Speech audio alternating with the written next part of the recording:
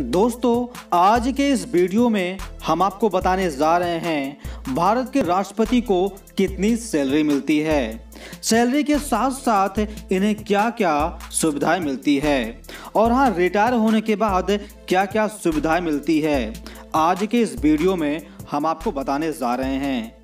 तो आइए इस वीडियो को हम स्टार्ट करते हैं। दोस्तों, आज़ादी के बाद से भारत कई तरह की चुनौतियों से निपटा है। देश में कभी आर्थिक तंगी, कभी दंगे, कभी भूखमरी तो कभी महामारी फैली। हालाँकि दोस्तों, इसके बाद भी भारत आगे बढ़ता रहा। और आज सबसे बड़े लोकतंत्र और प्रमुख विकासशील देश के रूप में उभरा है। भारत आज हर क्षेत्र में विश्व की धुरी बन रहा है। देश को यह उपलब्धि यहाँ के नेतृत्व के कारण मिली है। दोस्तों, क्या आप जानते हैं कि इस नेतृत्व में शामिल भारत के राष्ट्रपति, दोस्तों, भारत का राष्ट्रपति देश का मुखिया होने के साथ साथ भारत का प्रथम नागरिक भी होता है। राष्ट्रपति भारतीय सशस्त्र बलों के कमांडर इन चीफ भी होते हैं। भारत में राष्ट्रपति का चुनाव निर्वाचक मंडल के सदस्यों द्वारा किया जाता है। दोस्तों, इसमें संसद के दोनों सदन, प्रदेशों के विधानसभाओं के निर्वाचित सदस्य शामिल होते हैं। भारत का राष्ट्रपति यहाँ के राष्ट्रपति भवन में रहते हैं, जो दुनिया का सबसे बड़ा राष्ट्रपति भवन है। दोस्तों, आइए जानते हैं राष्ट्रपति की सैलरी कितनी होती है। दोस्तों, इस समय भारत के राष्ट्रपति का प्रति माह पाँच लाख रुपए सैलरी के रूप में मिलती है। जिस पर उन्हें किसी भी तरह का टैक्स नहीं चुकाना होता। इसके अलावा राष्ट्रपति को कई भत्ते भी मिलते हैं। दोस्तों, नई दिल्ली में स्थित राष्ट्रपति भवन भारत के राष्ट्रपति का आधिकारिक निवास है। यह दो लाख वर्ग फीट में बना हुआ है और इसमें 340 कमरे हैं। यहाँ पर करीब 200 लोग काम करते हैं। आपको पता होना चाहिए कि राष्ट्रपति के निवास, स्टाफ, मेहमानों और भोजन आदि पर सालाना करीब 22.5 मिलियन खर्च होता है।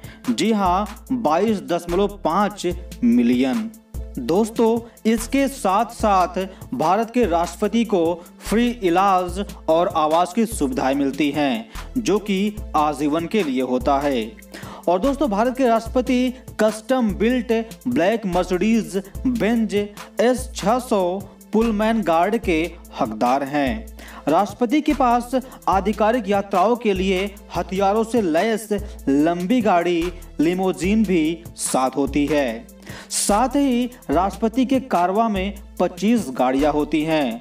राष्ट्रपति के पास छियासी प्रेसिडेंशियल बॉडी गार्ड होते हैं।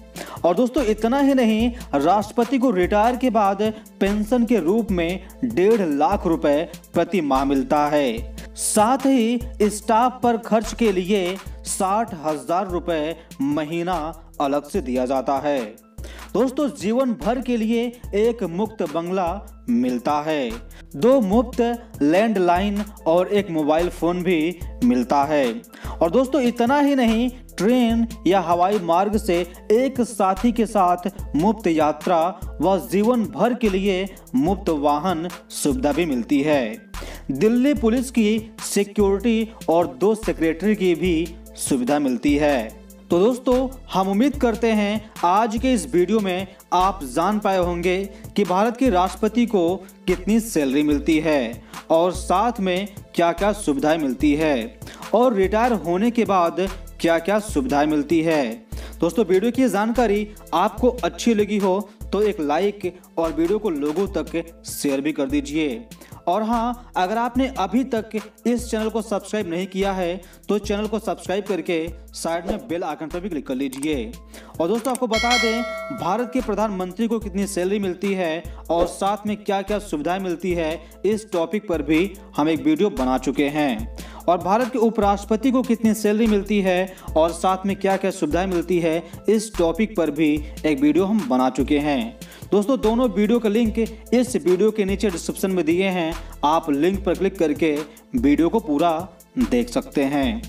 बाकी दोस्तों नेक्स्ट वीडियो मिलते हैं नेक्स्ट टॉपिक के साथ। बाकी तब तक के लिए आप सभी का अपना कीमती समय देने के लिए बहुत बहुत धन्यवाद।